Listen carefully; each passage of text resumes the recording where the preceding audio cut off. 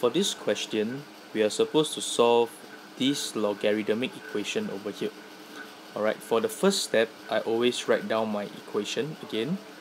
So bear in mind that you know I have a number 64 over here. 64 and this base 4 actually has a relationship. I can change 64 to base 4 as well which is 4 cube okay so this is what I will do. And I will use the power law now you can see I have written the power law over here which is log a b n. I can bring down the power n to be n log ab so likewise I can bring this power 3 over down to be 3 over here. So I'll have 2 log 4x minus 3 log x4 equals to 5 can you see that now one of my logarithm terms is 4 the base 4 and this is base x. I can only work when both base are the same. So I have to change one of it. So I will change this particular term. I'll use this particular formula over here. Alright. Can you see that log AB is actually equals to 1 over log BA so I can actually swap this AB to BA so I can swap this 4 and X the position.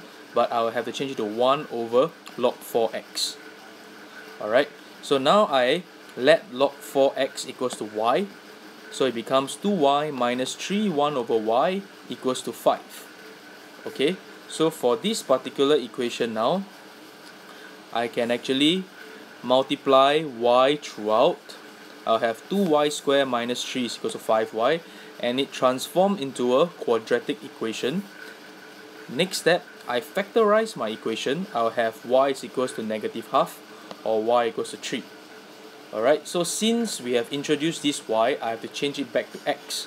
So y is equals to log 4x I change my y back to log 4x equals to negative half. So what did I do here right? Is that this is actually the logarithmic form. I change it back to my index form. Can you see that I have b is equals to a to the power of x? So in this case x will be equals to 4 to the power of negative half. So if you use your calculator this is the value will be half. And log 4x equals 3 x is equals to 4 to the power of 3 just by changing the form from logarithmic form to index form. So 4 to the power of 3 the value will be 64 so I have two answers for my x